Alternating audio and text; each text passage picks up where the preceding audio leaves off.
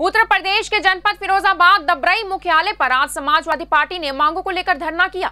इस दौरान धरने पर रहे स्थान पर वरिष्ठ पुलिस अधीक्षक सचिंद्र पटेल के निर्देशानुसार भारी मात्रा में पुलिस बल तैनात किया गया, जिसमें नगर मजिस्ट्रेट एसडीएम शहीद, जनपद के थाना अध्यक्ष एवं क्षेत्राधिकारी काफ़ी संख्या में मौजूद रहे। मुख्यालय के मेन गेट पर ही बैरिकेड्स लगाकर प्रदर्शनकारियों को रोक दिया गया। किसी को भी बिना पास के अंदर नहीं जाने दिया गया। प्रदर्शन को देखते हुए चप्पे चप्पे पर पुलिस का पहरा रहा। फिरोजाबाद से राकेश वर्मा के साथ जाहिद हुसैन की रिपोर्ट।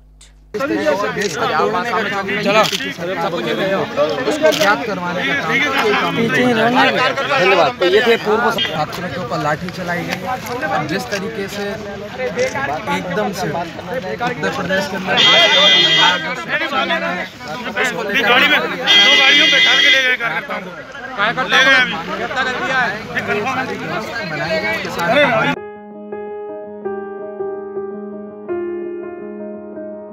खुल गया खुल गया खुल गया। आपके शहर फिरोजाबाद में पहली बार वैष्णवी हेल्थ क्लिनिक यहाँ पर डायबिटीज़ थायराइड जोड़ों का दर्द खास खुजली डेंगू मलेरिया टाइफाइड ट्यूबरक्यूलोसिस सीने में दर्द सीओपीडी पेट की बीमारी आदि का इलाज किया जाता है।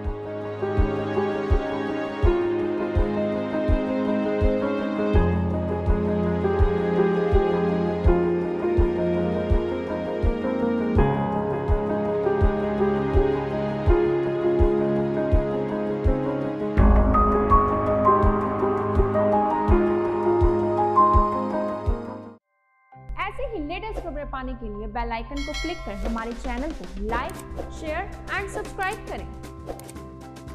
धन्यवाद।